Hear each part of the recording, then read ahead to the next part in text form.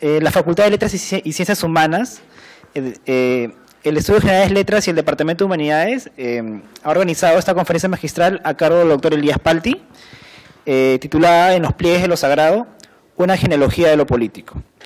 en primer lugar va a hablar la profesora Claudia Rosas, coordinadora de la especialidad de Historia. Buenas tardes.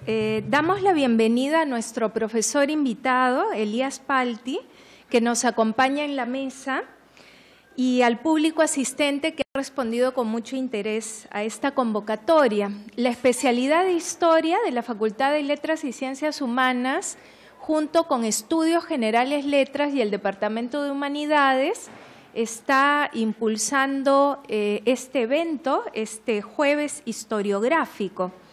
Y vendría a ser el último jueves historiográfico del año, hemos tenido varios a lo largo del año.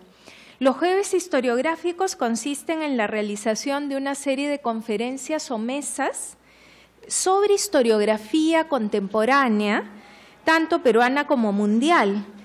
Estas charlas, como sabemos, se dan los jueves culturales o en cualquier otro día en que el ponente que nos visita, pues damos la bienvenida a la decana que después nos va a dirigir unas palabras. En eh, cada oportunidad se cuenta con uno o varios invitados que eh, disertan o discuten sobre algún tema de interés. Los jueves historiográficos en realidad es una iniciativa estudiantil que fue propuesta por Juan Lang y Marcos Alarcón y a la que después se integraron varios de los estudiantes de la especialidad de historia y bajo mi asesoría han realizado una serie de eventos con una regularidad en los últimos eh, dos años, lo cual es eh, muy eh, valorable y muy importante porque realmente el impulso han sido ellos, es decir, son ellos los que nos hacen trabajar a los profesores. Y eh, producto de este esfuerzo es que a lo largo de más de un año, un par de años, eh, es que ellos se han comunicado con el doctor Elías Palti para eh, invitarlo y que venga a estar esta tarde con nosotros. Y felizmente en su agenda recargada ha podido venir y dedicarnos sus importantes reflexiones acerca del último libro que va a publicar. Eh, a lo largo del año hemos tenido una, mm, un jueves historiográfico sobre historia atlántica de Mónica Ríquez, que vino de Estados Unidos. El primero fue eh, de Pablo Drinot sobre la América Latina de Hobsbawm. Él venía de Inglaterra, peruano sindicado allá. Y eh, otras conferencias y charlas. La idea de estos eventos es complementar, ampliar y profundizar el conocimiento de los estudiantes de la especialidad de historia y del público interesado en este tipo eh, de temas relevantes para que puedan contar con un saber actualizado sobre el desarrollo de la disciplina. Eh, de esta manera, em, es que queremos que nuestros estudiantes puedan elaborar sus proyectos de investigación eh, estando actualizados sobre el desarrollo de eh, la, disciplina histórica, de sus teorías, métodos. Al profesor Elías Palti lo invitaron a dar la conferencia inaugural del Congreso Mundial de Teoría de la Historia en Bruselas eh, lo cual es muy interesante porque acá nos va a hablar de algunos de los temas que trató en aquella oportunidad.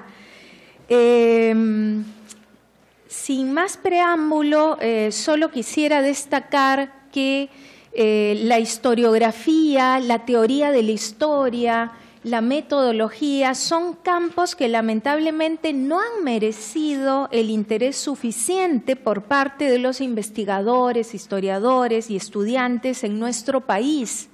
Por eso mismo creo que esta iniciativa es muy importante y ha partido, por eso, de los propios estudiantes. Eh, Junto con esta iniciativa de los jueves historiográficos también está el coloquio de estudiantes de historia, el más antiguo en nuestra universidad, que se desarrollará la próxima semana y que es parte de este interés por fomentar la reflexión, la investigación y el diálogo. ¿no? Eh, en esto no es posible sin el apoyo de, eh, sobre todo, la Facultad de Letras y Ciencias Humanas, porque eh, nuestra decana, Susana Reis, desde el inicio acogió con gran interés y entusiasmo esta iniciativa. por lo cual ha podido tener también una continuidad en, en el tiempo, ¿no? Hemos empezado con Paulo Drinot estos jueves historiográficos eh, y estamos terminando con un invitado de lujo, como es el profesor Elías Palti, que eh, va a cerrar eh, este, este año con sus reflexiones acerca de lo político. muchas gracias. Damos paso a la doctora Susana Raiz, decana de la Facultad de Letras y Ciencias Humanas. Buenas tardes. Aunque ya hemos entablado una conversación, una discusión previa, quiero dar oficialmente, públicamente, la bienvenida al profesor Elías Palti. Eh, siento que es realmente un privilegio tenerlo entre nosotros y solo me queda felicitar una vez más eh, la iniciativa de nuestros estudiantes y de la profesora Claudia Rosas para llevar adelante estos jueves historiográficos, que son verdaderamente uno de los eventos más ricos, más importantes que tenemos en la Facultad de Letras y Ciencias Humanas. Justamente mencionaba un poco un poquito en chiste y un poquito de veras, ¿no es cierto? Y un poquito en serio, entre bromas veras, que la especialidad de historia, es decir, es, podría decirse, la engreída de letras y ciencias humanas a juzgar por todo lo que se hace. Ahora bien, no es que yo tenga una preferencia personal, cierto? Pero sí es evidente que están entre los que hacen más cosas y cosas más interesantes. Es decir, la prueba de ello es el visitante que tenemos hoy. Sin más, le dejo la palabra al profesor Elías Palti. Y gracias por venir. Elías Palti eh, es reconocido por ser uno de los escritores más innovadores y prolíficos de la historia intelectual de América Latina. Gran conocedor de la historia política, literaria y cultural de América Central y del Sur. Ello se ve plasmado en sus distintas investigaciones que lo han convertido en uno de los protagonistas del debate sobre la evolución de los aspectos culturales de diversos términos políticos, como democracia y cultura política y el desarrollo de lo político en la historia en el plano discursivo. Estos, debates no solo lo posicionan académicamente en Latinoamérica, sino también lo han llevado a ser uno de los principales protagonistas del debate académico mundial. Adicionalmente, eh, ha sido encargado de la lección inaugural del Congreso Mundial de Teoría de la Historia, realizado en Bruselas el año pasado. Asimismo, tendrá la oportunidad de dar la lección inaugural del Coloquio Internacional, Tiempos de Reformas de Iberoamérica, siglos XVIII y XIX, en la Universidad Autónoma de México. En cuanto a su trayectoria académica, el doctor Palti obtuvo su máster y doctorado en Historia en la Universidad de Berkeley, California, y ha realizado estudios postdoctorales en el Colegio de México y en la Universidad de Harvard. Desde 1999 es profesor de la Universidad de Quilmes, desde el año 2008 de la Universidad de Buenos Aires, y entre 2004 y 2006 lo ha sido en la Universidad Nacional de La Plata. Además, es uno de los fundadores de la revista de historia intelectual Prismas, de la que actualmente es director. Finalmente, es también investigador del CONICET. Ha escrito múltiples libros que han renovado la disciplina. Entre ellos se encuentra la introducción e edición de Giro Lingüístico e Historia Intelectual, 1998. Aporías, Tiempo, Modernidad, Historia, Sujeto, Nación, Ley, 2001. La Nación como Problema, Los Historiadores y la Cuestión Nacional, en el año 2003. Verdades y saberes del marxismo, reacciones de una tradición política ante su crisis, en el 2005. La invención de una legitimidad, razón y retórica en el pensamiento mexicano del siglo XX, un estudio sobre las formas del discurso político, en el año 2005. Siguiendo con esto, en el tiempo de la política, el siglo XIX reconsiderado, en el año 2007, el momento romántico, nación, historia y lenguajes políticos en Argentina del siglo XIX, en el año 2009 el nudo del imperio, independencia y democracia en el Perú, en el año 2009 también. Asimismo, ha publicado más de 90 artículos en revistas especializadas de 20 países. Damos paso al doctor Palti para que dé inicio a su conferencia. Bueno, gracias. Eh, por empezar, bueno, quería sumarme ¿no? a las felicitaciones por la iniciativa de estos jueves historiográficos, que, bueno, por lo que me han contado, ya han sido como un gran impacto acá en la universidad, ¿no? Es, y, realmente muy interesante el proyecto y quería también, bueno, en particular agradecerles esta oportunidad de estar acá, de regresar a Lima y a esta universidad en particular, y a, bueno, a Claudia Rosas, a Susana Reis, a Juan Antonio Lam por, por la cálida recepción que me han dado desde que llegué, ¿no? Y realmente estoy abrumado por tantas atenciones, ¿no? Bueno, yendo entonces al, trabajo que hoy quería compartir con ustedes, que como dijo Claudia es un, anticipo de mi próximo libro. Bueno, este, este, sería la primera parte del libro. ¿Y cómo surgió la idea? ¿no? Originalmente el proyecto del libro era analizar ¿no? Eh, ¿Cómo se produjo? Bueno, como ustedes saben, en, torno al Bicentenario hubo una... Bueno, el Bicentenario acá es más tarde, pero el, Bicentenario en, el 2010, ¿no? Eh, hubo una explosión de estudios sobre las independencias latinoamericanas, ¿no? Y se impuso en esos años, todavía hoy, ¿no? Una visión de la de las revoluciones de independencia de corte así llamado revisionista, ¿no? que intentaba dislocar las visiones más nacionalistas y teleológicas, en el sentido teleológicas que creen ver en el, como el punto de partida del proceso revolucionario aquello que recién se encuentra al final de ese proceso, que son las naciones modernas de alguna forma busca entonces dislocar esta visión que la independencia fue el resultado del deseo de autodeterminación de naciones preexistentes que en realidad no existían eh, sino como producto de la propia quiebra del, orden colonial.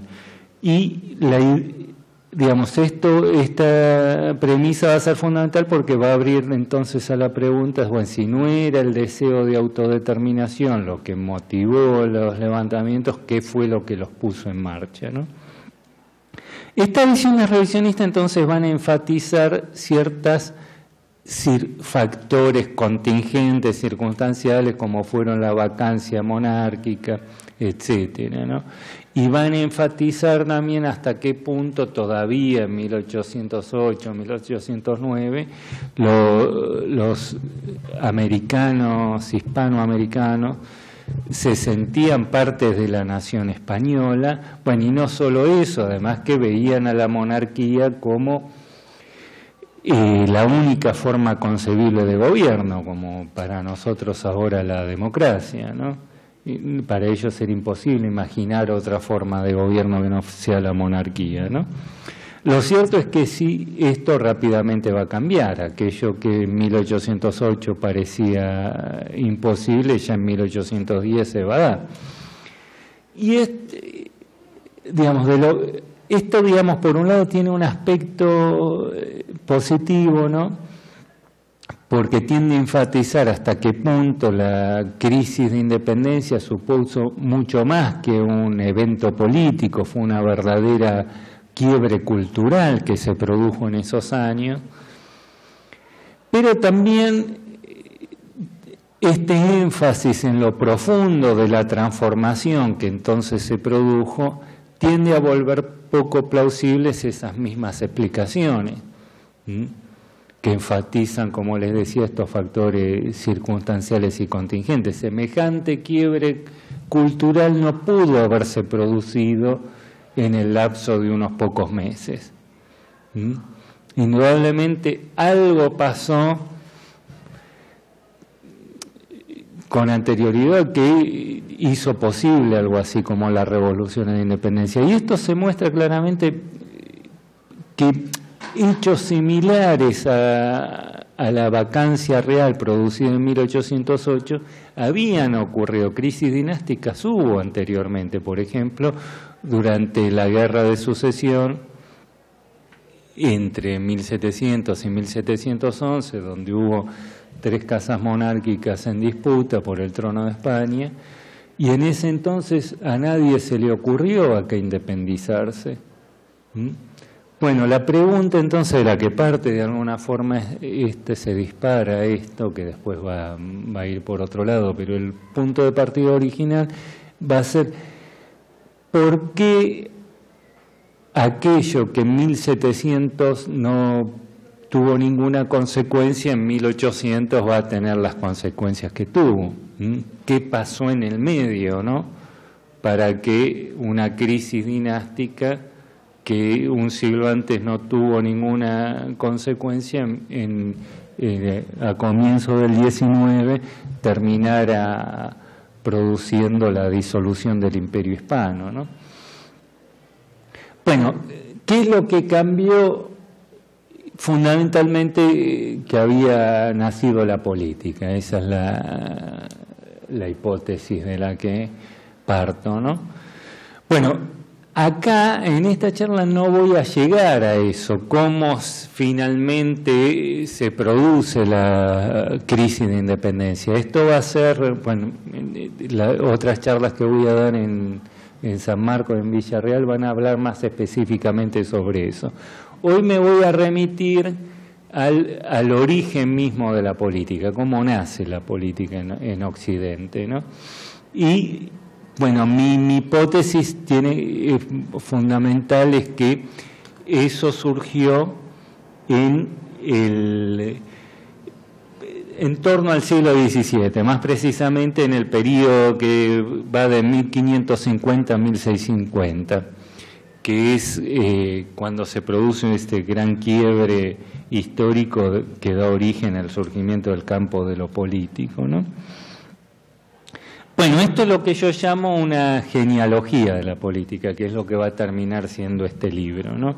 la problemática original poco a poco se va a dejar de lado y cada vez más el libro se va a concentrar en esto, cómo surge la política en Occidente y cómo, cómo surge el campo de lo político y cómo se ve rearticulando a lo largo del siglo hasta el presente en que, bueno, eh, lo que propongo es que esa, ese campo se habría, se estaría disolviendo ya en estos años. bueno, para mm, analizar entonces cómo se produce el surgimiento de lo político, habría que remitirse en principio a la recepción en Occidente de la política de Aristóteles, porque de hecho todo el debate político hasta bien entrado el siglo XIX, se va a enmarcar dentro de la vieja teoría de las formas de gobierno. Todavía en el momento de la independencia lo que se va a discutir era cuál era la forma de gobierno más adecuada para cada sociedad particular, ¿no? Eran tres básicas, monarquía, aristocracia o democracia y sus derivadas, ¿no? Y todo el debate político va a estar planteado en esos términos todavía en el siglo XIX. ¿no? Bueno, la recepción de la política de Aristóteles se va a dar en el siglo XIII, va a ser eh, mandada a traducir por Tomás de Aquino, el que la traduce es Guillermo de Moerbeque en 1269, pero Tomás hace la, los primeros comentarios a la política de Aristóteles y es el que va a sentar los términos del, debate político ¿no? en esos comentarios. Bueno, ya como vamos a ver, Tomás se va a apartar ¿no? de eh, del texto original, ¿no? en sus comentarios en algunos puntos fundamentales. ¿no? La política de Aristóteles, bueno, básicamente comienza con una crítica a Platón, a la República de Platón, donde le dice, le critica a Platón el hecho de que para Platón la polis, la ciudad, el Estado, no era nada más que una prolongación de la, del ámbito doméstico, ¿no? que la ciudad era como una gran familia y el, rey o la, autoridad era como una especie de gran padre de familia. ¿no? Eh, Aristóteles, por el contrario, busca enfatizar esta diferencia ¿no? entre el ámbito doméstico y el ámbito de la política. ¿no? Y bueno, el término política entonces se va a oponer al de oeconomía, el de oeconomía es el que refiere al ámbito doméstico y la política al, al ámbito de la polis, y él lo que trata de mostrar es que no es una sola, solo una diferencia de grados, ¿no? la polis no es una gran familia, sino que son diferencia de naturaleza porque son distintos los bienes a los cuales cada uno se orienta. La oeconomía trata de aquellos bienes que son particulares a cada uno y la polis eh, refiere a aquellos bienes que son comunes a todos. Bueno, y como hablábamos hoy en, el almuerzo también, en este sentido, el, término política no, no, no, no es exactamente lo que nosotros llamamos política, ¿no? porque en un sentido cabría quizá traducirlo más como lo social, es decir, aquello que es común a todos. Y esto, esto se expresa en el propio texto de Aristóteles en el hecho de que él, digamos, para él el arte de la política era el arte de combinar intereses sociales, ¿no? Por eso para él la forma más perfecta de gobierno era lo que llamaba la politeia, que era una mezcla de aristocracia y democracia, porque para él lo que había que lograr que tanto los ricos como los pobres eh, participaran del sistema político para que ninguno quedara excluido y no y conspirara contra la estabilidad de la, de la, de la República, de la polis. ¿no? Y en, Aristóteles está claro ¿no? de que ahí no hay lugar para la monarquía, porque la monarquía no expresa ningún interés social concreto. Por eso, eh, para la monarquía no era nada más que una variante de la aristocracia. Bueno, esto, como les decía, va a cambiar radicalmente ya en el siglo XIII cuando se produce la, recepción de Aristóteles. Y esto es fundamental de tener en cuenta. Uno de los grandes problemas ¿no? que nos impide entender cómo se produjo la crisis de independencia es que los que nos dedicamos al periodo independiente solemos tener una visión muy pobre y estática del periodo colonial. Normalmente vemos todo el pasado colonial como si fueran tres siglos donde no pasó nada, digamos, y tres siglos iguales a sí mismos. Bueno, una de las cosas que hay que, que me interesa analizar es, digamos, creo que para entender cómo se produjo la independencia es necesario dislocar esa visión estática y ver la serie de cambios que se produjeron con anterioridad a la crisis y que eventualmente hicieron posible la independencia. ¿no? Bueno, y que va a haber una serie de cambios fundamentales. En, los siglos XIII y XIV ya se produce un primer cambio fundamental. Hay cambios a nivel de los regímenes de ejercicio de poder. La, la monarquía feudo-vasallática va a dar lugar en, esos años al surgimiento de las monarquías estamentales corporativas. En las monarquías feudo-vasalláticas, el monarca no era nada más que el que se encontraba en la cúspide de una pirámide, ¿no? en una cadena de relaciones de mando y subordinación que estaban eh, que eran intrínsecas o inmanentes a la propia sociedad. ¿Mm? Como saben, los señores tenían vasallos, pero eran vasallos de otros señores y así sucesivamente hasta llegar al monarca. El monarca no se ocupaba el lugar, se situaba en la cúspide de esa pirámide, pero la naturaleza de su poder no era de una naturaleza distinta de la de los eh, marqueses, castellanos, duques, etcétera, quienes de hecho conservaban plenos poderes dentro de sus territorios, algunos de los cuales incluso eran mayores que los del propio rey. El rey se lo definía como un primus inter pares. Bueno, como le decía, esto cambia con las, eh, con, las monarquías estamentales corporativas, ¿no? Eh, que es también en esos años ya el monarca empieza a desprenderse de la sociedad y es en ese entonces también cuando aparecen los primeros sistemas representativos, los parlamentos, las cortes, y la sociedad va a ser pensada ¿no? como una sociedad de estamento. La función específica del rey es de articular esos distintos estamentos para instituir la justicia. Esto está ligado a la idea de que hay una pluralidad de fuente de derecho. Cada estamento, de cada estamento emanaba su propia jurisprudencia.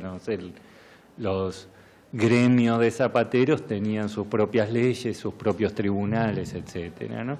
Entonces, la, y la función del rey era eh, articular esa pluralidad en una unidad, ¿no? e instituir la idea de justicia. La injusticia quería decir eso. Que acá ya el monarca va a ocupar un lugar singular, ¿no? que no va a ser ni completamente interno a la sociedad ni completamente externo a la sociedad, sino que más bien va a ocupar una suerte de espacio intersticial. Él se va a ubicar en la arista que articula los distintos estamentos entre sí, ¿no? Pero bueno, vamos a saltearnos esto, en el libro lo desarrollo más para llegar a lo que ahora a mí me interesa, que es el siguiente cambio que se produce, que es ya en los siglos XVI y XVII, entre, bueno, en este periodo que yo llamo de la que va de 1560 a 1650, es que se produce un nuevo tránsito, ¿no? A mí, digamos, lo que me va a interesar ahora vamos a analizar más el pensamiento neoescolástico. Digamos, el pensamiento escolástico va a acompañar esta transición de las monarquías feudo-vasalláticas a las estamentales corporativas. El pensamiento neoescolástico, a su vez, va a acompañar el tránsito que se produce ahora de las monarquías renacentistas a las monarquías barrocas, de las monarquías estamentales corporativas a las monarquías absolutas. Acá el, el monarca ya se va a colocar en una posición de completa trascendencia respecto de la, eh, de la comunidad a la cual le toca gobernar, en una situación de prominencia. La, digamos, el monarca ahora va a ser entendido como de una naturaleza completamente distinta al, de los otros miembros de la sociedad. ¿no? Y es acá que me gustaría, es, esto un poco lo que vamos a desarrollar, los cambios que se producen ahora con el surgimiento de la monarquía barroca, la monarquía absoluta. Y es acá que me gustaría entonces eh, eh, analizar brevemente este cuadro de del Greco, ¿no? Sí, que es, creo yo, el que sintetiza muy bien los cambios del siglo XVII y la serie de mm, cómo cambian ¿no? las concepciones del mundo y de la política eh, durante el periodo barroco, ¿no? Pues ya cuando se produce la recepción ¿no? de, de la política de Aristóteles, estaba bien clara, claro, sin embargo, ¿no? para Santo Tomás, que más allá de la existencia de pluralidad de formas de gobierno, había una que era la única natural, porque era la, la única que encarnaba, que era la monarquía, ¿no? Porque era la única que encarnaba el principio de unidad que representaba el Padre en el ámbito doméstico y Dios en el mundo, ¿no? Con el surgimiento del monoteísmo, digamos, aparece esta idea, ¿no? De que el universo tiene un, único principio que lo rige y es el que dota de unidad al, al mundo, ¿no? Y aparece también, bueno, esta idea, ¿no? la figura del monarca aparece ya como aquel que permite reducir esa pluralidad de estamentos en una totalidad social de la, en un todo social de la comunidad, ¿no? Está este, aparece ya esta idea, bueno, en Dante aparece también, retoma esta idea de que existe un, doble vínculo, ¿no? Uno el que se establece entre las partes entre sí, entre los miembros de la sociedad, y otro entre esas partes de la sociedad y dice y, una parte que ya no es que no es una parte que se refiere al monarca que el vínculo que está digamos aparece ya más claramente que el vínculo entre los súbditos y el monarca no es ya de la misma naturaleza que el que se establece entre los súbditos entre sí. Ahí aparece un primer principio de diferenciación. Sin embargo, todavía todo el saber renacentista está fundado en la idea de, que existe una continuidad esencial entre los seres. Esta gran idea de la gran cadena del ser que va desde los seres inferiores, pasando por el hombre y llegando hasta Dios, la idea de naturaleza se identifica, la natural, digamos, el gran problema que aparece ya con el, el, cristianismo que no estaba en el mundo antiguo era como un Dios ahora colocado por encima y por fuera del mundo logra inscribir sus designios en el interior del mundo. Ese es el gran problema teológico que aparece, como de la administración de la gracia, como, bueno, es el gobierno del mundo, el gobierno en el sentido de la dispositio, la correcta disposición de las cosas en el mundo, ¿no? Bueno, la idea de, y es acá donde eh, Tomás, tanto Tomás como Dante, que era un contendiente de Tomás, ¿no? porque estaba la disputa entre imperio y entre, el, entre el imperio y el papado, Tomás estaba a favor del papado, Dante a favor del imperio, ¿no? Eh, y él va a discutir en su libro de la monarquía con, con Santo Tomás, ¿no? Eh, pero, digamos, ellos van a apelar a esta idea de naturaleza, la idea, el concepto eh, teleológico de la naturaleza. La naturaleza tiene inscrita dentro de sí un fin hacia el cual tiende. Todos los seres tienden a, la realización de un fin, según Aristóteles, que es el que explica el, paso de la potencia al acto, ¿no? La semilla quiere ser árbol, ¿no? y se orienta a ser árbol, ¿no? Bueno, hay un principio, ¿no? Ese, principio teleológico del concepto de la naturaleza va a ser ahora reinterpretado e identificado con la providencia divina. Ese concepto teleológico le va a permitir, eh, es el que se va a fundar todo el saber del renacimiento. De lo que se trata es descifrar a partir de las formas, el, ámbito del manifiesto de las formas, ese principio que unifica a los seres y les da un, sentido esencial y los comunica entre sí. ¿no? Esa es la idea, ¿no? Del, como le decía, la que se funda todo el saber del renacimiento. Por eso digamos, había una cierta idea de que en las formas visibles era el modo en que Dios le hablaba a los hombres, ¿no? Y se hacía manifiesto a los hombres. Y esto también se da en los nombres, ¿no? Por eso Colón, cuando llega a América, tiene esa obsesión por designar las cosas, no solo por ponerle un nombre, porque de alguna forma en el nombre está contenido algo de la esencia de esa cosa. A través de la forma, la idea del teatro del mundo, ¿no? El, el mundo es un teatro por el que Dios habla a los hombres, ¿no?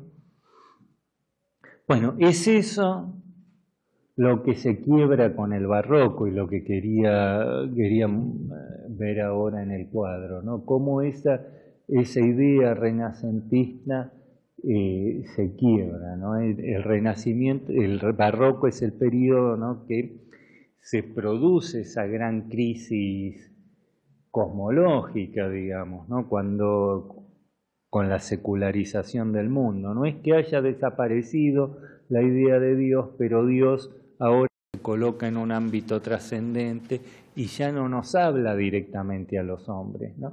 Bueno, es el periodo donde nace el Quijote o las meninas que analiza Foucault, donde se descubre que las lenguas son convencionales, que no, hay en el nombre nada que nos hable de la esencia de esas cosas, que los nombres son nada más que artilugios convencionales y que además vivimos encerrados en ese mundo de artificios, de convenciones, donde nunca Dios, la verdad, la justicia se nos manifiesta, se nos hace inmediatamente presente en el mundo.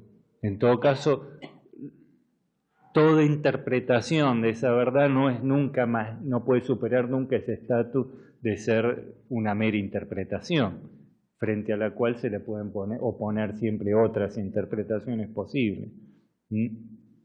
La verdad, ni la Dios, ni la justicia se nos hace inmediatamente presentes en el mundo. Ningún, todo código legislativo, todo sistema legislativo es también una interpretación de los principios de justicia divina.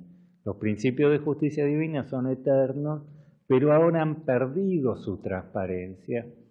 Antes, por ser eternos e inmutables esos principios, eran inmediatamente accesibles a los hombres. Digamos, ese era el principio tradicional de sindéresis, la capacidad que tiene el sujeto de la inteligibilidad de los principios eternos de justicia. Por eso para el, para un hombre del siglo XV o XVI todavía no era necesario para ser un buen súbdito eh, ser ilustrado.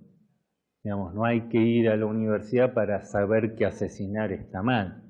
Basta con ser virtuoso. Bueno, eso cambia completamente desde el momento en que se aceptan que todo sistema jurídico, todo orden legislativo es de naturaleza convencional y por lo tanto eh, su intelección supone ciertas capacidades intelectuales de discernimiento que no son inmediatamente evidentes esos principios. Bueno, bueno, de todo, eh, gracias por la charla que nos está dando. Me parece muy interesante ver la evolución que hay en, el aspecto monárquico y mi pregunta va más hacia el lado al caso español en el siglo XVI. Eh, si bien en esa época se consolida bastante la teoría política en, de, legibus, de legibus de Suárez, y también, bueno, en Europa están los planteamientos de Bossuet, todavía que tienen una carga muy fuerte eh, religiosa. Em, me parece que ya desde, Suárez eh, se ve consolidándose el proyecto absolutista, ¿no? Pese a que aún todavía mantiene rezagos de la tradición un poco medieval, em, sobre todo más que nada referente a la injusticia, ¿no? A, la tiranía, que también incluso una visión un poco ya que viene desde, el mundo antiguo. Ahora, la pregunta más por el lado de Em, ¿Por qué elige la fecha de 1550 como el inicio del proceso de la, de la forjación de la política como tal y no fechas anteriores? Porque la campaña, ya la corona española con Carlos V empieza este proceso desde antes, ¿no? desde su coronación y la búsqueda del, del, imperio, busca consolidar su poder de manera este, absoluta. Entonces, ¿Por qué eligen sí la fecha del 50 y no antes? Sí, porque tiene que ver justamente con la digamos, todavía con Carlos V y Felipe II estaba esta vocación de los imperios universalistas, ¿no?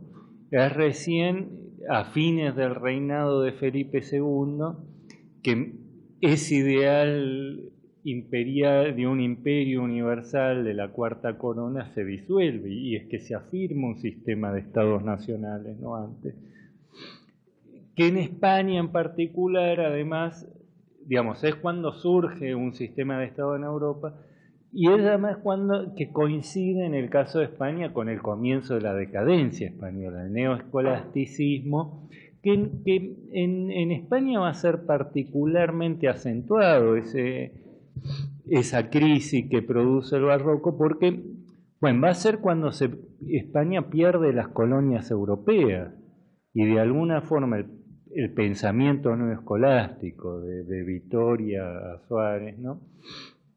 Es una respuesta a esa gran crisis que se da en Europa. Bueno, se pierde Flandes, el sur de Italia, y para España eso fue un trauma mm, fundamental que se expresa en su en el arte, en la literatura, ¿no? Este sentido de crisis. El siglo XVII en general va a ser un siglo trágico, ¿no? Porque es el, siglo, bueno, donde renacen las tragedias y es el siglo donde, bueno, se va a plantear esta pregunta fundamental, ¿no? Eh, que es, una vez que Dios ha abandonado el mundo, que nos vemos ya eh, abandonados por la mano de Dios, ¿qué sentido tiene la existencia humana una vez que nos vemos reducido a una existencia puramente animal? ¿Mm?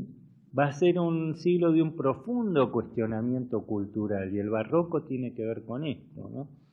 Bueno, esto quería un poco mostrar también lo que se ve, cómo se expresa eso en el cuadro, pero justamente lo de Suárez eh, es, es, lo que voy a hablar después del greco. ¿no?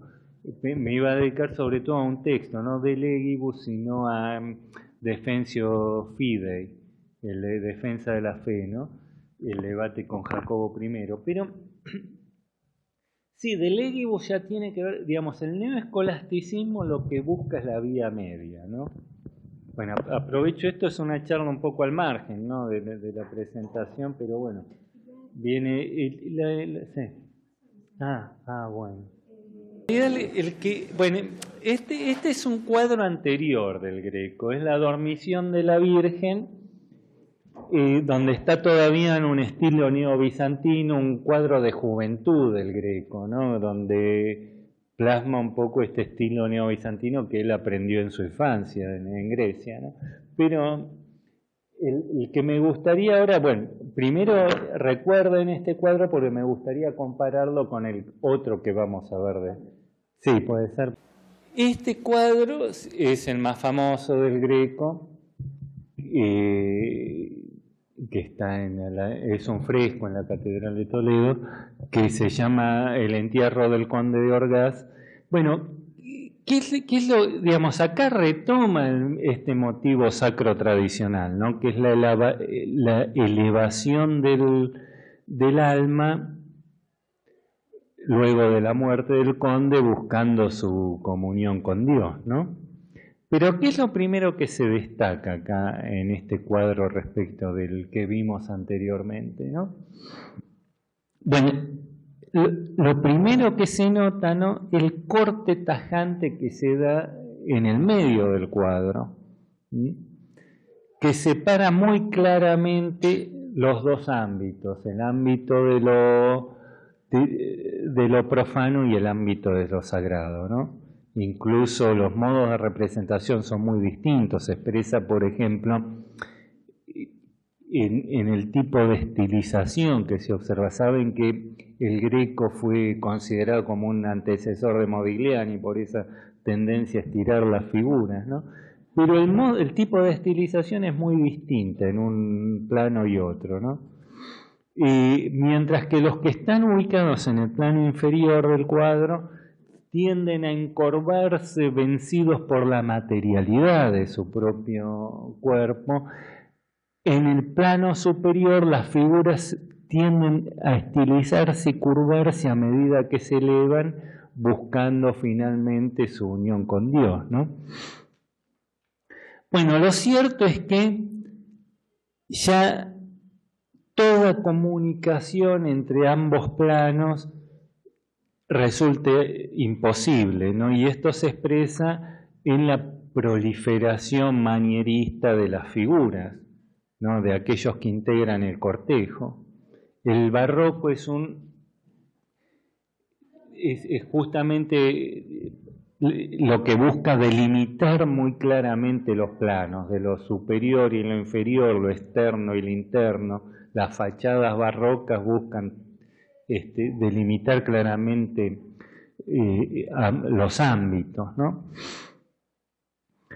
Y esto se expresa en el hecho de que ninguno de los miembros del cortejo ya tiene la posibilidad de acceder a una visión de Dios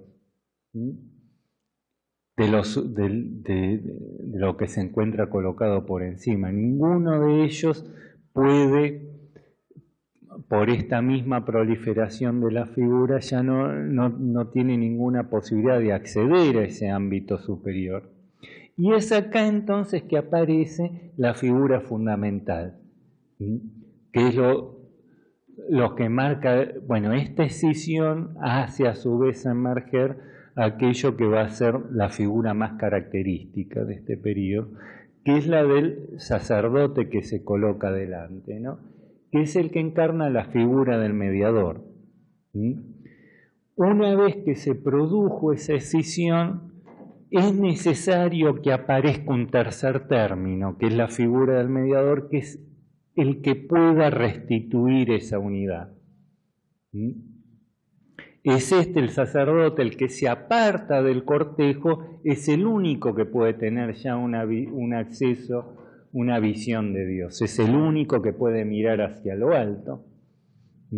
Y es en él, y es, eh, bueno, es esta la figura fundamental y también la que va a condensar en sí toda la crisis del barroco, ¿no? Va a ser la figura fundamentalmente problemática. Es en él, ¿no? En que se produce esa unidad, es en, la vestimenta del,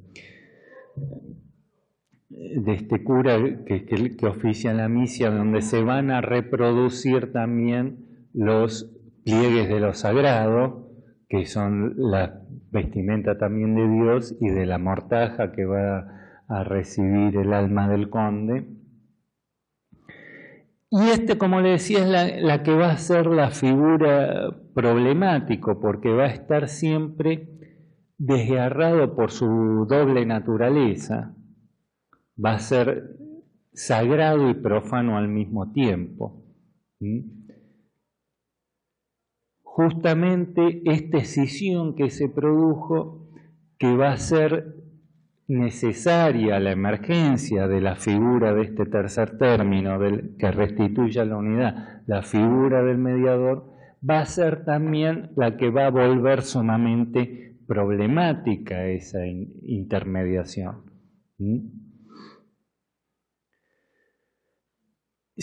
para aquellos que conocen el libro de Kantorowicz de los dos cuerpos del rey, eh, analiza en este libro famoso, lo de los dos cuerpos del rey, cómo la revolución británica se va a dar no contra la monarquía, sino contra el monarca. Va a aparecer esta idea de que el monarca se encuentra desgarrado por esa eh, doble naturaleza, ¿no? que hay siempre una contradicción inevitable entre la investidura, el rey que no muere, que es, su investidura, y aquella persona que ocupa ese cargo que es mortal como todos los demás.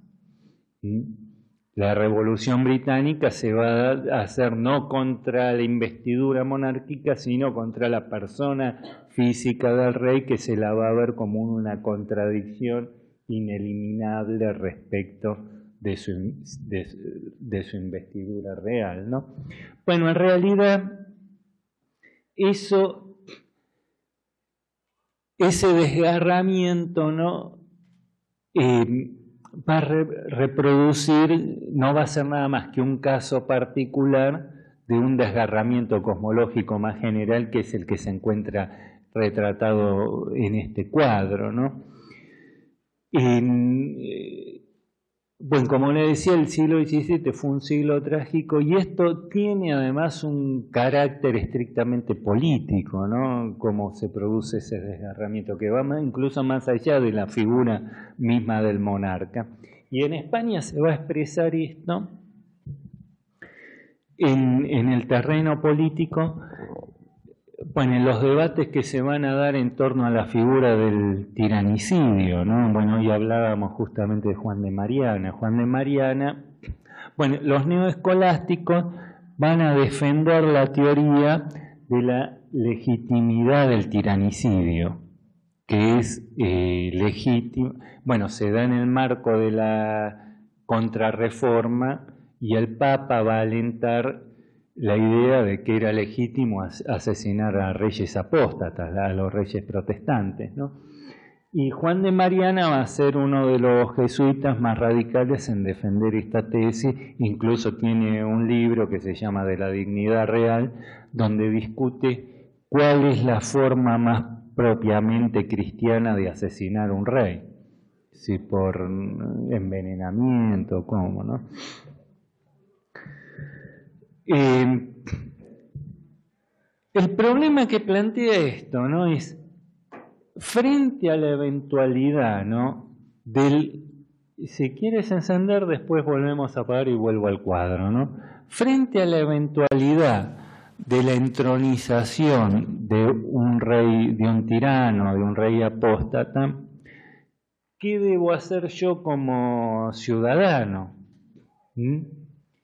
Debo obedecer a los dictámenes de mi conciencia moral y rebelarme contra este rey apóstata al precio de hundir la comunidad, sumergirla en la guerra civil. Estamos en los años de las guerras de religión, que fueron unas guerras terriblemente sanguinarias, donde se enfrentaron protestantes y católicos y se hicieron verdaderas masacres, ¿no?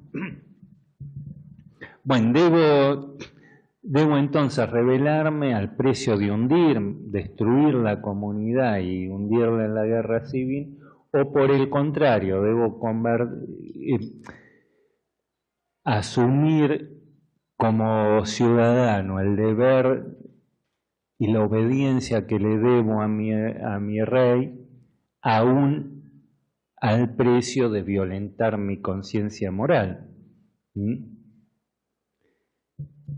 Frente a esta alternativa, el propio sujeto entonces se va a ver él mismo también escindido, desgarrado en su doble condición entre eh, cristiano y ciudadano, entre sujeto moral y, sujeto político. Una vez que la justicia eh, ha huido del mundo, que Dios se convirtió en un Dios ausente, oculto, y que vivimos encerrados en un mundo de apariencia, ya no, es, no hay forma de conciliar ambos roles. O me, o me dirijo hacia los bienes de sagrados, trascendentes, al precio de desconocer mi realidad mundana o, me someto a los condicionamientos mundanos al precio de olvidarme de los principios trascendentes. Ese, es el dilema trágico. Todas las tragedias, eh, el héroe se enfrenta a un dilema trágico. Eh, en el caso típico de, como Romeo y Julieta, digamos, debo casarme con la mujer que amo pero no debo, o debo casarme con la mujer que debo al precio de olvidarme del amor. Ya las dos cosas se ven como en una contradicción ineliminable. El sujeto trágico se ve desgarrado por eso, por un dilema donde no hay posible solución. ¿no? En el caso de Romeo y Julieta, realizar el amor supone violentar las convenciones sociales que están dados en, expresadas en este caso en el antagonismo entre las familias, ¿no? de Montescos y Capuleto. Pero necesariamente orientarse a los valores superiores supone violentar las convenciones y observar las convenciones es olvidarse, ¿no? negar esos valores fundamentales, no hay, ya no hay posible conciliación entre ambos. Ese antagonismo es también el que genera la necesidad de esta tercera figura de, la mediación, que se vuelve, como les decía, al mismo tiempo necesaria e imposible, y es la que va a condensar dentro de sí ese mismo desgarramiento. ¿no? El otro aspecto que aparece, te apagaría dos minutos más, después lo volvemos a encender, ¿no? La otra figura problemática que aparece ahí es de ese niño que aparece debajo, ¿lo ven? Ese niño en realidad es el hijo del greco. Y es el, digamos, de alguna forma en, el que en este cuadro, bueno, como saben, en el barroco siempre hay alguna alusión ahora al, al propio arte de la representación, ¿no?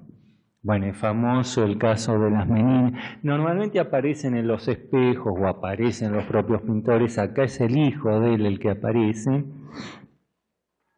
Y que de alguna forma intenta dar cuenta de la problemática de la representación en el propio interior del sistema de la representación. Es cuando la representación aparece como problema, porque vivimos en un mundo de representaciones siempre, ¿no? De convenciones, ya no, no accedemos directamente a la esencia de las cosas, sino a sus manifestaciones externas que siempre ocultan más que revelan su verdadera esencia, ¿no? Bueno, en el caso de este cuadro lo que llama la atención ¿no? de esta figura, como pueden ver, es la él, también hace de, en cierta forma, de la figura del mediador. Él es el único que nos está mirando a nosotros, ¿no? Él es también el que articula estos dos planos, la del el interior del cuadro con el exterior del cuadro. Y es llamativo, este niño parece ser eh, permanecer completamente extraño al drama que está transcurriendo a sus espaldas. Él permanece ignorante de lo que está ocurriendo, ¿no? Y sin embargo, este, que, este niño, que es el que, como les decía, totalmente ajeno a lo que ocurre, al drama que ocurre a sus espaldas, es también el que nos mira a nosotros y que con nos hace con la mano el gesto que nos invita a ver lo que está pasando. ¿Mm?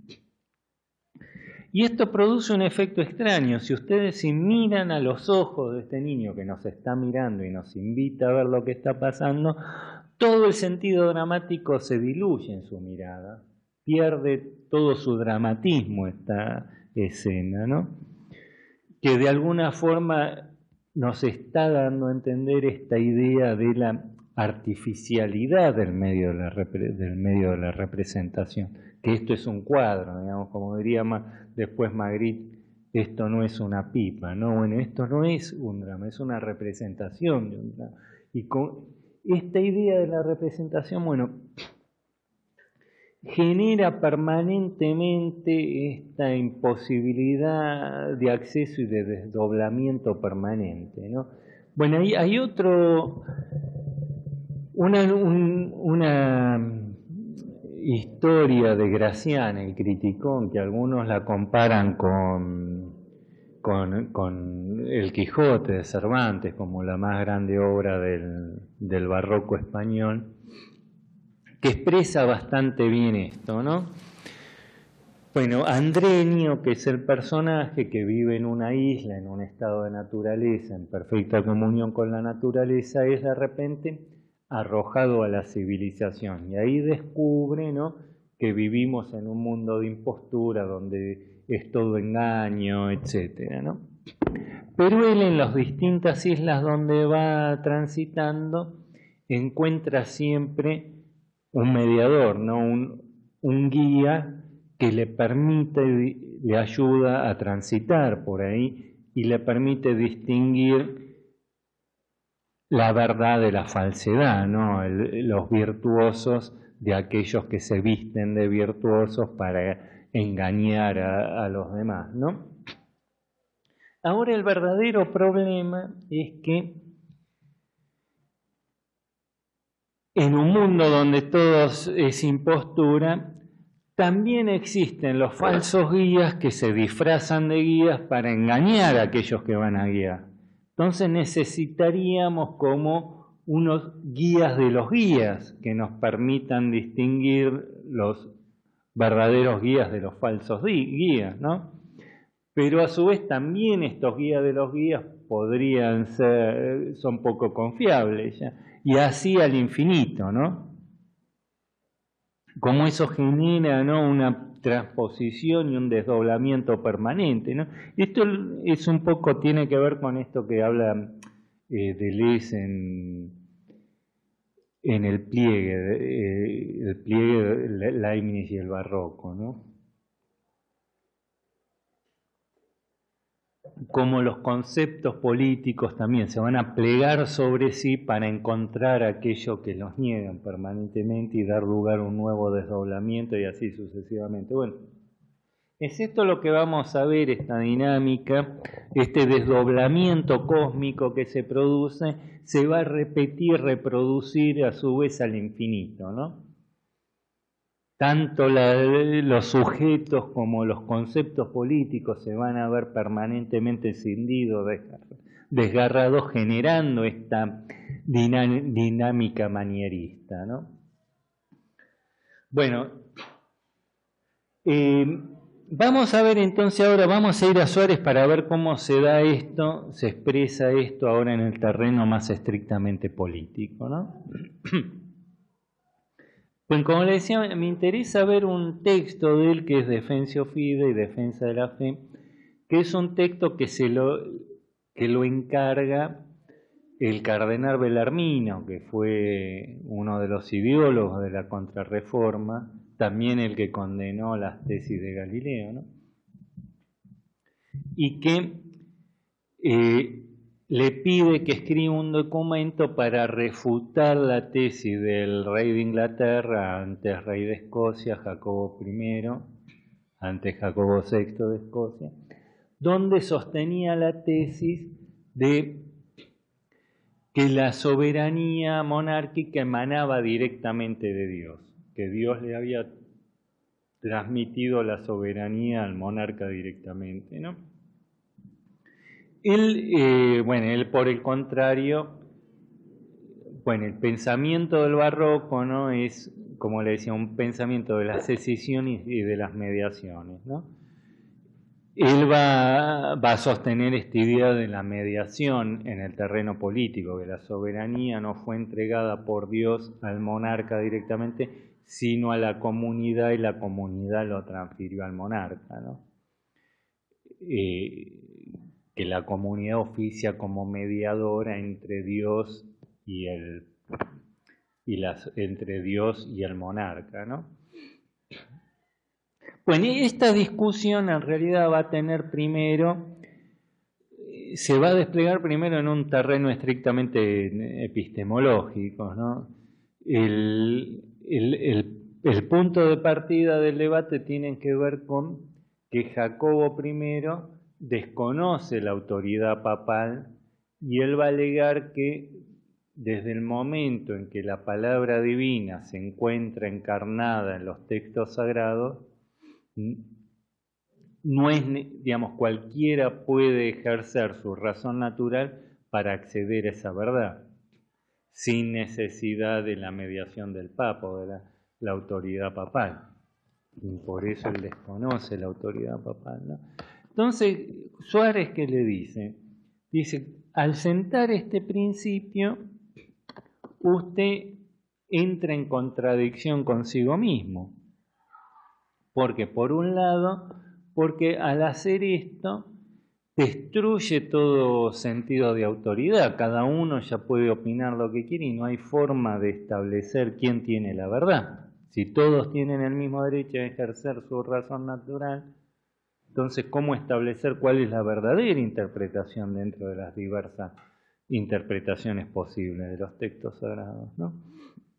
Y con eso dice, cae en contradicción consigo mismo porque este, el documento que escribe Jacobo I, que es el Basilicón Dorón, en realidad está dirigido contra los puritanos, que son los que cuestionan la autoridad de Jacobo I. Entonces le dice, si usted plantea esto, entonces ¿cómo usted ya mina su propio argumento, su propio fundamento, porque ya no tiene forma de justificar por qué su interpretación es mejor que la de los puritanos, que están cuestionando justamente su autoridad. ¿Mm? Ya no puede ofrecer ningún criterio para sostener la primacía de su interpretación sobre el resto, ¿no?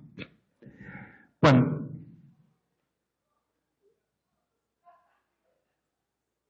y en última instancia, su argumento se vuelve insostenible, dice, porque usted dice que debe, usted busca ejercer la, la, razón natural para acceder a la verdad que existe en los textos sagrados, ¿no? Pero que existe una verdad depositada en, los textos sagrados no es el resultado del ejercicio de la razón natural, sino por el contrario, la premisa de ello. Si usted quiere ejercer la razón natural para acceder a esa verdad es porque ya presupone que en esos textos hay una verdad depositada. ¿Mm? O sea que la razón natural no solo que no se opone a la fe, sino que, digamos, que existe una verdad es materia de fe en última instancia. O sea que no solo no se opone a la fe, sino que solo puede circular en el interior del terreno abierto por la fe. ¿Mm? Entonces vemos cómo se reproduce acá el misterio trinitario, ¿no? el esquema trinitario, entre la pluralidad de, interpretaciones, ¿no? la diversidad de interpretaciones y la unidad de la verdad, es necesario que aparezca un tercer término que produzca la reducción de la pluralidad de la unidad, que solo puede ser la fe. La fe aparece entonces como ese mediador que puede restituir el vínculo en última instancia entre Dios Padre y Dios Hijo, entre la esfera de lo sagrado y de lo mundano, entre la pluralidad de interpretaciones y, y, la unidad de la verdad. ¿no? Este es el argumento, ¿no? el esquema trinitario que va a trasladar también al plano de lo político. La idea de Suárez es esta, ¿no? que en el argumento lo que le dice que, bueno, la, soberanía, bueno, él, parte de esta distinción entre las causas primeras y las causas segundas de los escolásticos, ¿no? Las causas primeras son los modos inmediatos de operar de Dios en el mundo que están inscritos en la propia naturaleza de las cosas, en el propio concepto de la cosa. Por ejemplo, que tener cuatro patas, ladrar, etcétera, etcétera, es parte del concepto de, de perro, digamos, no, no, no, hay, no, hay, forma, salvo un monstruo, digamos, que un perro no puede no tener, no ladrar y tener cuatro patas, etcétera, ¿no? Eso es así porque está en la propia definición del concepto de perro, pero no, no tiene por qué ser o negro, o blanco, marrón o a, manchas, ¿no? Eso ya no forma parte del concepto. Y acá entramos en el ámbito de lo convencional, que puede ser de una forma, pero también puede ser de otra forma. No está en el concepto de perro ser negro ya. Ese es el ámbito de las causas secundarias. Entonces acá es donde se necesita así un mediador que articule entre su causa primera y sus efectos determinados, porque ya no se encuentran contenidos en, su causa originaria. ¿no?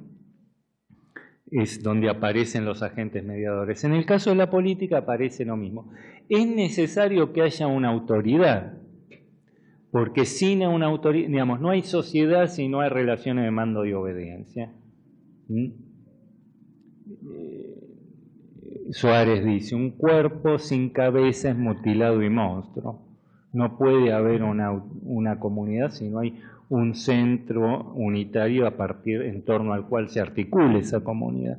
Ahora, Dios no determinó que esa autoridad la encarne alguna, ninguna persona en particular.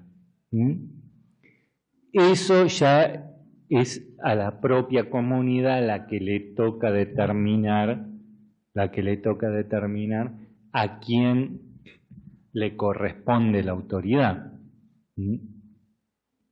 Es acá donde digamos, ya entramos en el ámbito del convencional y donde opera el sistema de las mediaciones.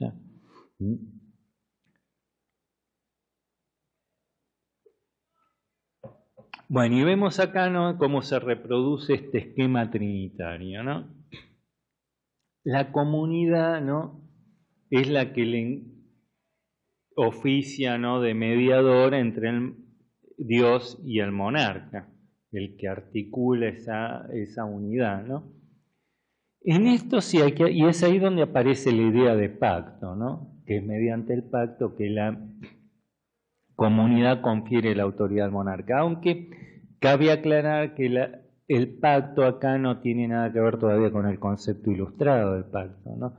porque no tiene nada que ver con la voluntad de los sujetos, sino los límites están referidos a los límites de la autoridad monárquica. ¿Mm? El, pacto significa es que la autoridad le fue conferida al monarca no para beneficio propio, sino para beneficio de la comunidad. Y que existen ciertos límites metapositivos, ciertos principios eternos de justicia que el monarca no puede violar sin convertirse en un tirano.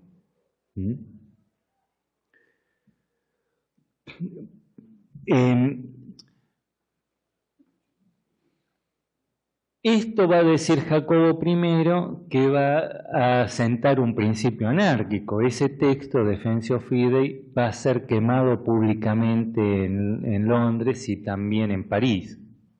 Porque se va a decir, bueno, si la comunidad transfiere la soberanía al monarca, la pueda retirar en cualquier momento, dice Jacobo I. Y así no hay forma de establecer ningún poder político. Si cada uno puede retirar su apoyo a la, autoridad según su propia conciencia en el momento que se le ocurra, estamos todavía en el estado de naturaleza jovesiano. Bueno, eh, Suárez va a responder a esto y va a dar dos argumentos distintos. El primero es el más conocido, el que todos los tratadistas, todos los estudiosos del pensamiento de Suárez citan, pero que en realidad es el menos importante y es en sí mismo va, como totalmente insostenible. ¿no? Suárez lo que va a decir es que una vez que se le transfiere la soberanía al monarca, no se le puede ya retirar. Ahora, ¿por qué no se le puede retirar? Sí, porque, digamos, si un monarca se convierte en tirano, el que rompe el pacto no es el pueblo, es el propio monarca. Entonces, y, se convierte en un sujeto privado al cual ya no hay ninguna obligación de, de, sostenerlo, de obedecerlo. Así planteado parece que no avanzamos nada todavía. Bueno, hay un segundo argumento que es aún mucho más importante y que no, normalmente no, se lo toma en cuenta. Para Suárez la verdadera pregunta es, bueno, ¿por qué su, doctrina no es una doctrina anárquica? La verdadera pregunta no es si se le puede retirar o no la, la soberanía al monarca, porque ya en el concepto mismo de tirano está contenida la idea de la desobediencia. La pregunta es, ¿quién puede determinar cuándo un monarca se convierte en un tirano? ¿Mm? Y es acá donde aparece este otro argumento. el problema es que no hay forma de, de establecerlo. Eso en última instancia es indecible. ¿Por qué? Porque la comunidad no puede hablar por sí misma sino a través del propio monarca, porque no existe la comunidad por fuera del propio cuerpo del monarca.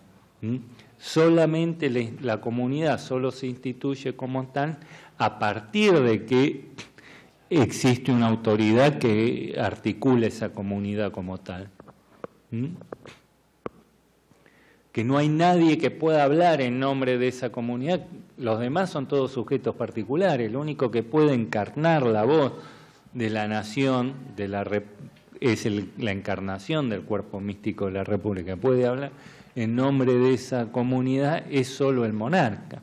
Entonces vemos acá ¿no? nuevamente ese esquema trinitario, ¿no?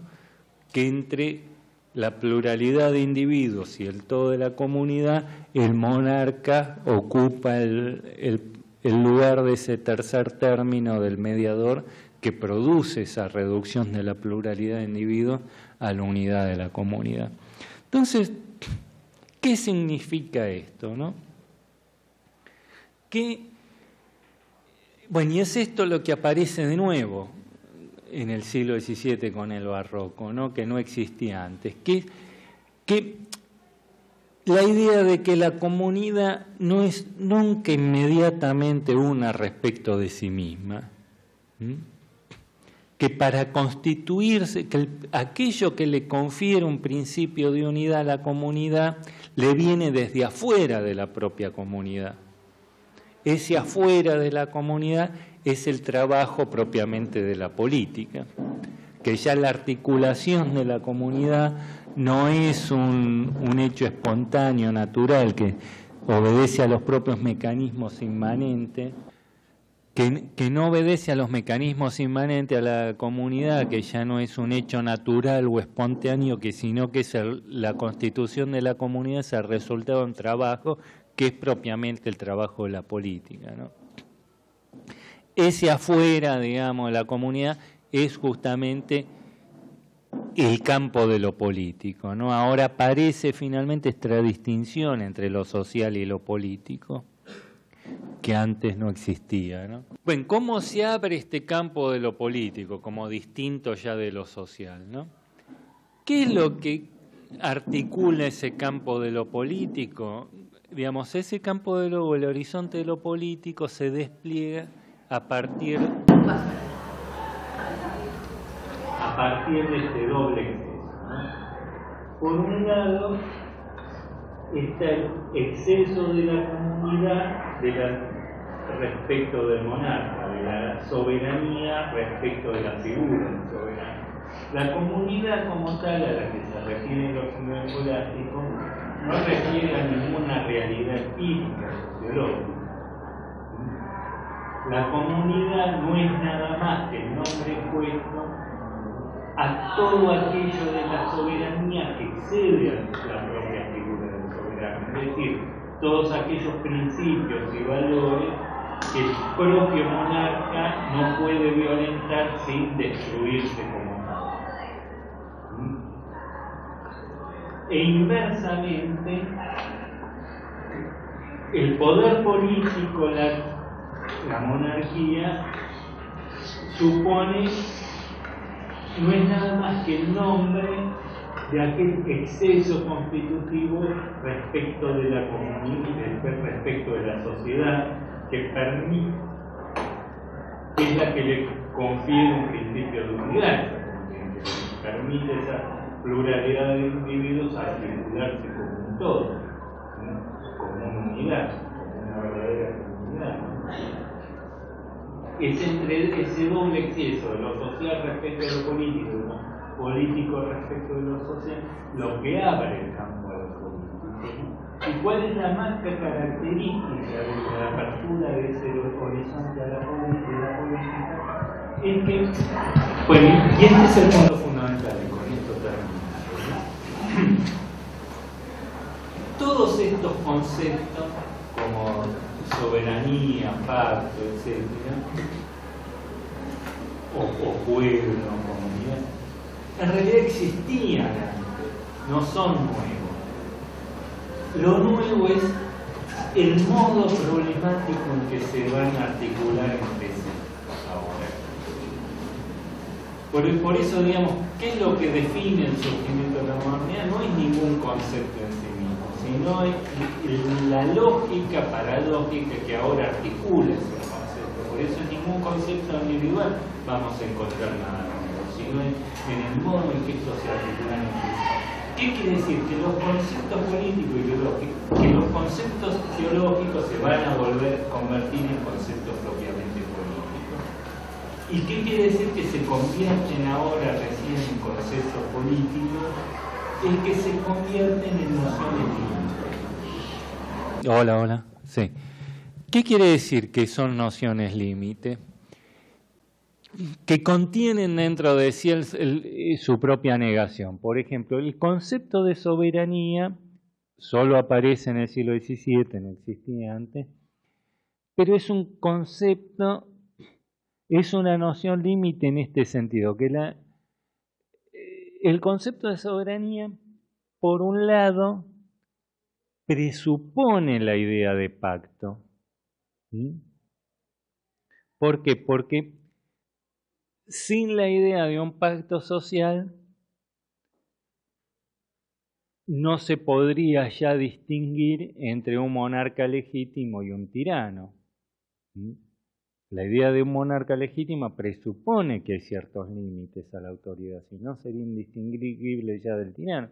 Pero al mismo tiempo, la idea de soberanía excluye la idea de todo límite, porque si le ponemos un límite al soberano, esto significa instituir a alguien que pueda juzgar al rey. Y entonces ya no sería soberano, soberano pasaría a ser aquel que puede juzgar al rey. Entonces, las ideas de soberanía y pacto nacen juntas, ambas se suponen al, mutuamente y al mismo tiempo se contradicen mutuamente. Es decir, si las, el concepto de soberanía se realizara completamente, en el sentido de la ausencia total de límites, automáticamente se destruiría a sí misma. ¿Por qué? Porque se convertiría en, un tirano, ya en la negación del monarca. Lo mismo ocurre con el concepto, con todos los conceptos políticos. El concepto de comunidad ocurre lo mismo. La idea de comunidad solo podría realizarse al, precio de destruir. Es decir, la, comunidad no existe si no existe una autoridad, un monarca en torno a la cual se articula esa comunidad. O sea que solo se puede constituir como, como una verdadera comunidad en el punto en que se destruye como tal, porque esto supone introducir las relaciones, eh, asimetrías de poder, relaciones de, de, mando y obediencia. ¿Mm? Digamos, todo, la, digamos la, soberanía, los conceptos de soberanía como comunidad, etcétera, pasan a ser en última instancia conceptos imposibles, nociones límites, que no pueden realizarse sin, completamente sin destruirse a sí mismas. Y es eso lo que define esa naturaleza política de los conceptos. Bueno, esto es lo que abre el campo de la política en el interior del cual se va a inscribir todo el debate político y toda la práctica política desde el siglo XVII en adelante, hasta el día de hoy. Y no podemos entender cómo se produjeron la crisis de independencia sin remitirnos a este cambio fundamental que se dio antes, en el siglo XVII. Ni la revolución de independencia ni nada de lo que va. Digamos, esa figura del mediador después se va a encarnar en otra figura, en los congresos, etc. Pero este juego de inmanencia y trascendencia, el juego de las mediaciones, es lo que va a articular el campo de lo político, va a ser así. Bueno, y esta es la idea finalmente del libro, cómo ese horizonte se va a reconfigurar sucesivamente. Bueno, y finalmente llegaríamos, o este es el final del, libro, ¿no? Que ese juego de oposiciones que se retrata el Greco, que se abrió en el siglo XVII, hoy ya se estaría cerrando, ¿no? La y el gran interrogante que se plantea ahora es qué tipo de pensamiento de política surgiría ya cuando esas dicotomías que se establecieron con las monarquías absolutas han perdido su eficacia. Básicamente, digamos, digamos, el siglo XIX va a ser lo que Cosele canaliza como el Sattelstein, va a ser en realidad una respuesta a esta crisis del siglo XVII. Es ahí cuando se desarrollan todos los grandes conceptos que van a venir a llenar el vacío dejado por la muerte de Dios, ¿no? que son los conceptos de nación, bueno, historia, todo lo que analizan Hogan, Cosele, etc. Entre 1750 y 1850 surgen esta serie de palabras claves, ¿no? Bueno, lo que estaríamos viendo ahora es cómo, digamos, la, la pregunta sería, de, alguna forma vuelve a plantearse esa misma situación del siglo XVII. Ahora ya la pregunta es, no cómo puede pensarse la política, ya desprendida de todo ideal de justicia eterna, de Dios, etcétera, sino cómo se podría hoy pensar la política ya cuando, digamos, no solo Dios, sino también todos sus remedios seculares como la nación, la razón, la historia, etcétera, han perdido su eficacia simbólica. ¿Qué horizonte de la política se abre ahora ya desprendida del campo de lo político, de este juego de antinomia, eh, que son en última instancia el resultado, fueron históricamente el resultado de una contingencia histórica, de una inflexión producida en el interior del pensamiento teológico. ¿no? Bueno, este es esto último, como le decía, es muy breve síntesis la, el tema del libro más general. Lo que vimos hoy no es nada más que la primera, el primer capítulo de ese libro, cómo fue que se abrió ese campo de lo político. Porque si no entendemos cómo se abre el campo de lo político, es muy difícil luego, es imposible entender cuál es el sentido de los debates políticos, porque, digamos, la, tradicionalmente la historia de la, del pensamiento político analiza eso. Si Hobbes estuvo a favor de, más de la soberanía, Locke estuvo más a favor del pacto, pero lo que le interesa a una historia conceptual de lo político no es qué posturas tomar cada uno, sino cómo se abrió el propio campo de opciones, más allá después de qué, qué línea va a seguir cada uno. Pero cómo fue posible que se abriera ese terreno donde unos van a adherir más a una opción y otros a otra que no fue, digamos, simplemente una cuestión de elecciones personales por afinidades ideológicas de cada uno, sino cómo se estableció el debate político mismo, cómo se reconfiguró el terreno de debate dentro del cual algunos adoptarán una postura y otra, pero lo que le interesa a una historia conceptual de lo político es reconstruir el terreno mismo de debate independientemente de qué postura después adoptó cada uno. Es y cómo ese terreno se fue reconfigurando históricamente a lo largo de los siglos. ¿no? Bueno, hasta acá. Gracias por su atención.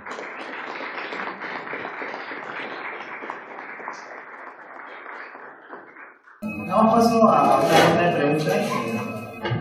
Vamos a ayudar.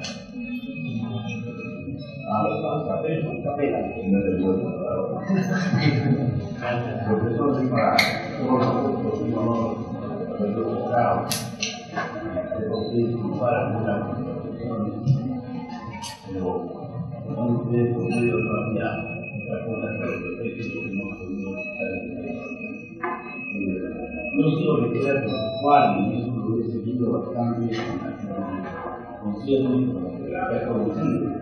Y tengo una sola pregunta ahí.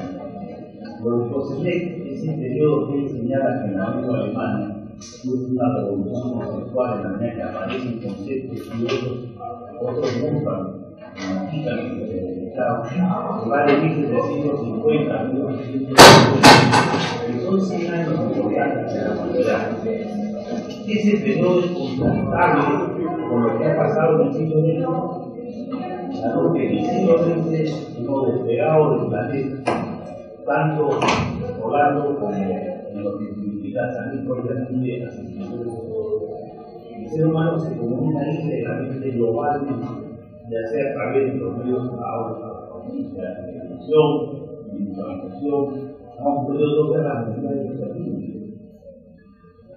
Es también de aceleración del siglo XX que está produciendo nuevos conceptos, que está modificando los conceptos actuales y Coselin lo plantea en esos términos, tiene un texto que se llama Aceleración y Prognosis, donde plantea eso, ¿no? de que hay una aceleración ya sobresaturada del tiempo histórico. Pero yo, yo difiero en eso bastante con Coselin. ¿no? Bueno, en primer lugar, el periodo, el Satellite, del que él habla de 17, que va de 1750 a 1850, como el periodo que nace la modernidad, tiene un problema en, primer lugar, ¿no? que deja de lado toda la filosofía de la modernidad temprana.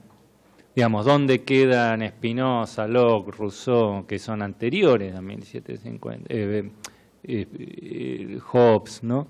Y eh, de hecho contradice su propio tesis doctoral de crítica y crisis, donde justamente analiza a Locke, a Hobbes, etcétera, como el nacimiento de la modernidad. Ahí hay un desfasaje. Yo creo que el problema que tiene González es justamente que se le pierde de vista.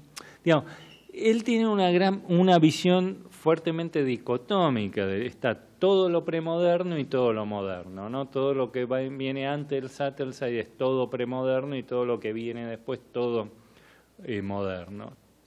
Entonces pierde, la, para él es, digamos, es lo mismo el siglo XVI que el siglo XII o el siglo IV antes de Cristo, es todo premoderno. Pierde de vista la posibilidad de que hayan ocurrido otras rupturas conceptuales tanto antes como después del Satellite.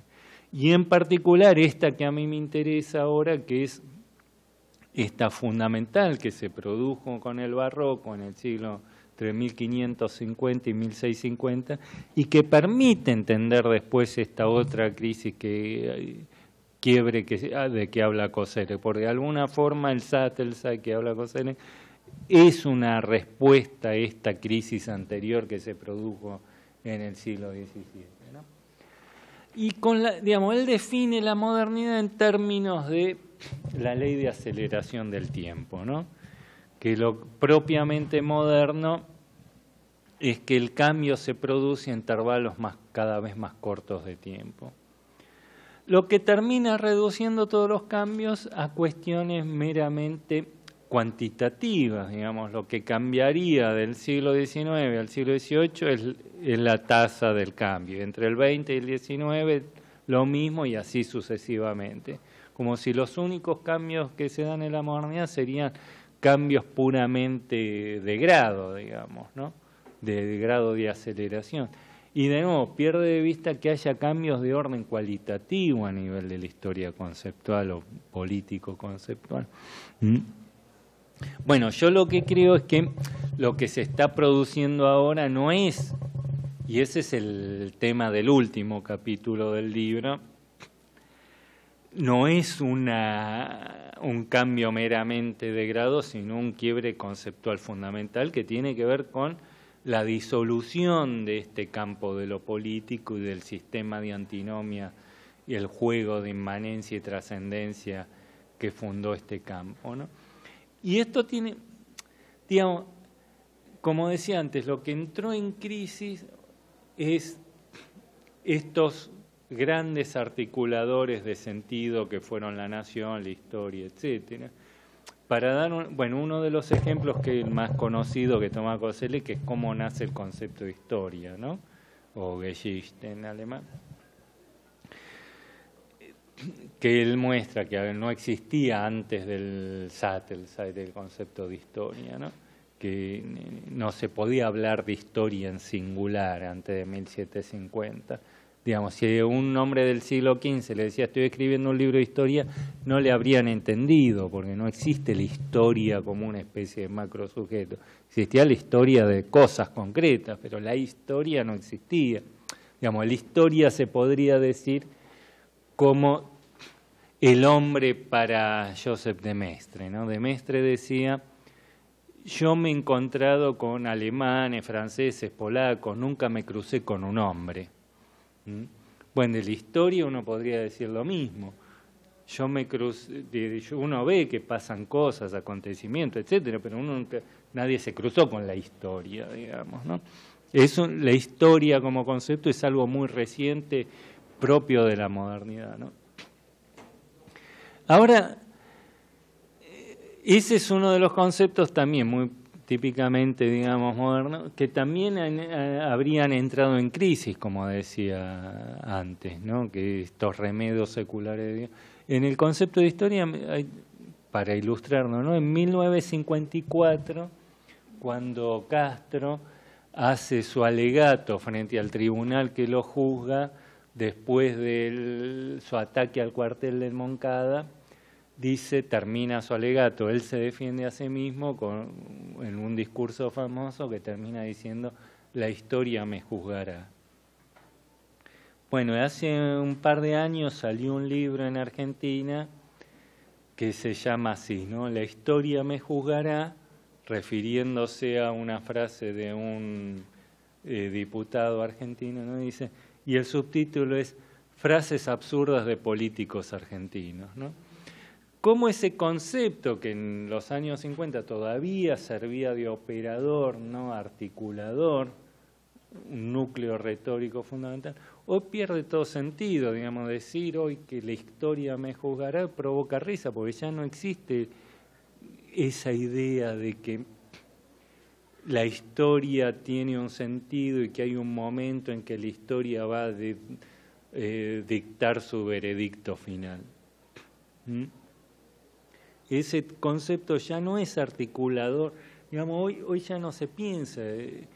Y este, digamos, esto, digamos, en, un sentido más, eh, digamos, bueno, este, esta es la otra diferencia entre una historia de ideas y una historia conceptual de lo político, digamos, una historia de los lenguajes políticos.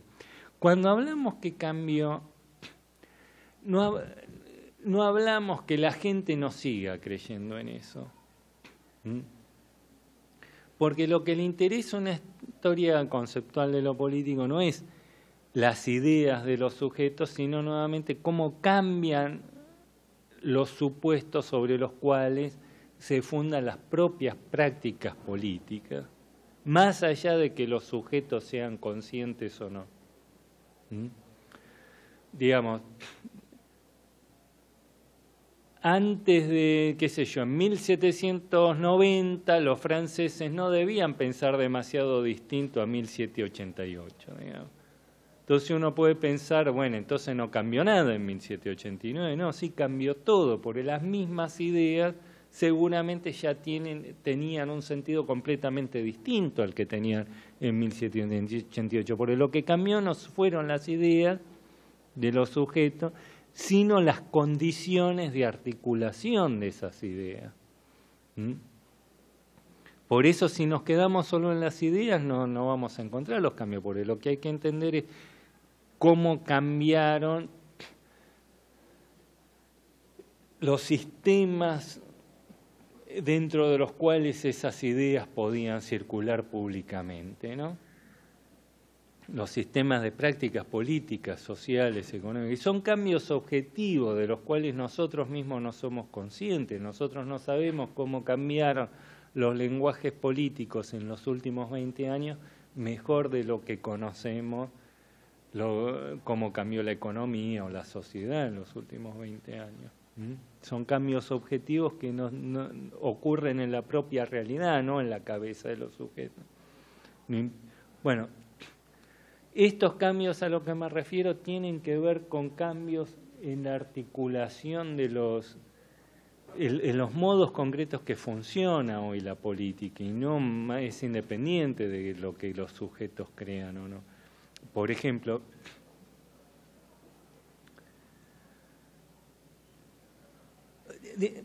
bueno, por ejemplo, el concepto de revolución, que había la idea de que había que América Latina estaba, digamos, que había estaba ya al borde de una revolución social, ¿no? Probablemente hay muchos que sigan creyendo eso entre los militantes de izquierda, sobre todo. Pero lo cierto es que esa hipótesis no es la que articula concretamente la política internacional hoy. En los años 60 no solo lo creían los militantes de izquierda, sino también la CIA lo creía. Y por eso financiaba golpe de Estado en toda América Latina. Y no se podía entender nada del funcionamiento de la política de los años 70 si uno no tomaba en cuenta ese supuesto de que América Latina era inminente una revolución social y que, bueno, para los que estaban en contra debían evitarlo, etcétera. Pero todos los actores sociales se movían sobre la base de ese supuesto. ¿Mm? Y eso tiene que ver no, no tanto solo con un problema en creencias, sino con el modo en que efectivamente funcionaba la política. ¿Mm? Bueno, hoy no es la clave, no es el supuesto que permite comprender el funcionamiento práctico de la política, no, no es un esos supuestos dejaron de ser la idea de una historia, de una revolución o lo que fuera, no forma parte de los supuestos que, eh, que resultan los articuladores efectivos de las prácticas políticas hoy. ¿no? Bueno, ¿cuáles son esos supuestos? Ya está. Bueno, dejamos acá entonces. Agradecemos a por su presencia, a ustedes también por haber asistido.